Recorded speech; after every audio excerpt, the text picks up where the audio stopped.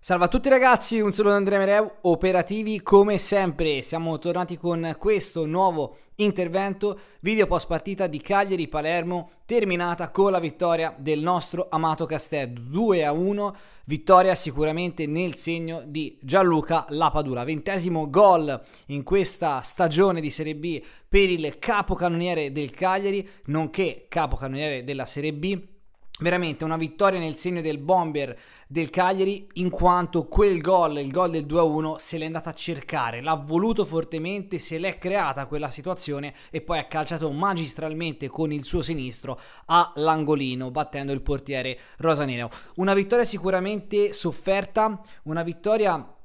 che da un certo punto di vista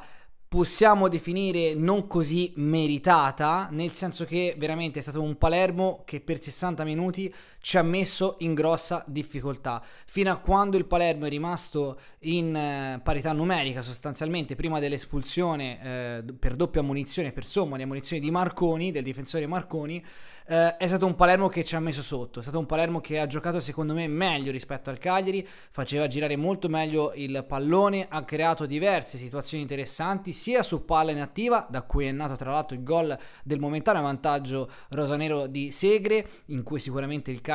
non era messo molto bene, con un Azzi abbastanza disattento come capita spesso a livello difensivo, ma non soltanto lui ha commesso errori nel frangente, ma in generale un Palermo che ha eh, creato delle situazioni veramente pericolose con Radunovic che ha dovuto compiere diversi interventi e altre situazioni comunque dove non sono riusciti a sfruttare magari la situazione i giocatori eh, di Corini. Dall'altra parte è stato un Cagliari sicuramente eh, che a livello di manovra, una manovra molto faraginosa, là davanti Pavoletti e la Padura eh, hanno visto secondo me pochi palloni e eh, la dimostrazione di quanta fatica abbiamo fatto a livello chiaramente offensivo offensivo lo dimostra anche il gol del pareggio del Cagliari che è arrivata eh, praticamente sugli sviluppi di un fallo laterale, disattenzione da parte del Palermo, quindi bravi sicuramente furbi i nostri, in particolar, in particolar modo Nandez a farsi servire subito velocemente, a mettere il pallone dentro per l'inserimento del solito De Iola, insomma, che comunque a livello realizzativo anche quest'anno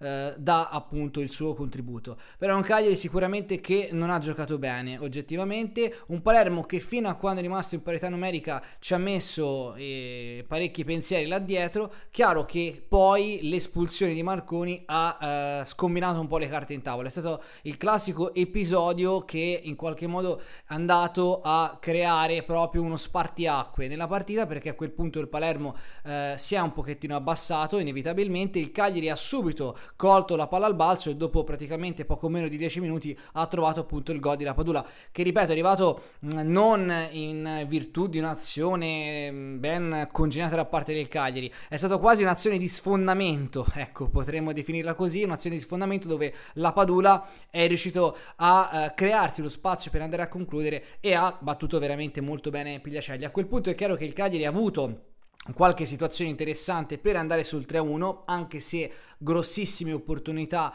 eh, non ne ricordo il Palermo non ne ha avute per pareggiare, intendiamoci, però è chiaro che dal momento in cui il Cagliari è dato in vantaggio fino alla fine della partita siamo stati lì, diciamo un equilibrio che comunque poteva portare no, a un episodio e eh, poteva portare il Palermo anche a pareggiarla. Quindi insomma una vittoria sicuramente importante, partiamo da questo presupposto che noi dovevamo vincere oggi, peccato che eh, nel campo del Sud non sia arrivata eh, appunto la notizia che tutti noi aspettavamo perché il Cittadella inizialmente stava vincendo, poi in realtà è stato appunto raggiunto dalla squadra di Bisoli che quindi ha conquistato un punto che in questo momento permette alla squadra appunto di Bisoli di rimanere quarta in classifica con un solo punto di vantaggio proprio su Cagliari e Parma. C'è però ancora l'ultima sfida, chiaramente l'ultima sfida che a questo punto diventa assolutamente decisiva. Noi dovremo fare il nostro dovere andando a Cosenza e eh, cercare appunto di vincere, di conquistare tre punti, sperando chiaramente che il Sud possa